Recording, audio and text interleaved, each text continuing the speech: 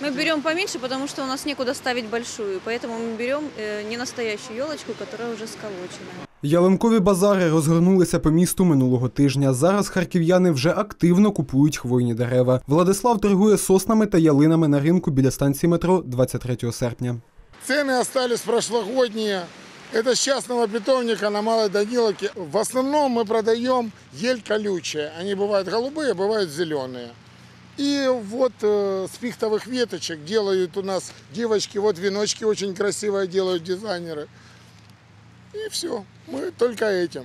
Цьогоріч ціни на сосни коливаються від 150 до 1200 гривень. За ялину просять трохи більше від 250 до 1500. Рустам продає новорічні дерева 16 років.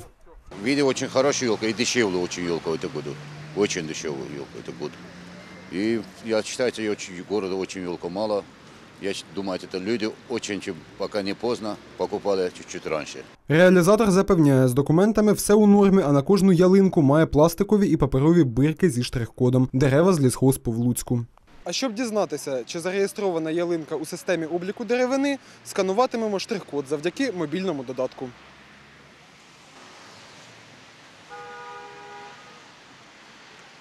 Вітаємо! Ваша ялинка легальна. Тетяна Мельник реалізує ялини та сосни біля сумського ринку. Ціни тут вищі, ніж у спальних районах. Жінка стверджує, мають навіть імпортні дерева, але у горщиках для висадки. Хорошая сосна э, идет от э, 300, 400, 500, ну и выше, конечно, если по- по- большая, есть там и 3 метра, и 4, ну есть метра 3-4, если человеку надо, то, конечно, она идет уже тысячу и выше. Дешевше за все придбати ялинку в державному лісгоспі. Середня ціна 75 гривень за метр. Ялинки у горщиках там продають від 100 гривень. Щоб новорічне дерево простояло якнайдовше, його потрібно тримати в ємкості з вологим піском. Олександр Шимаєв та Євгеній Шинкаренко. Медіагрупа Об'єктив.